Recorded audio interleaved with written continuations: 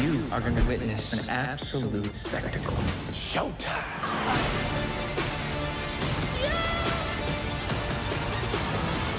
Why do they always have to go bigger?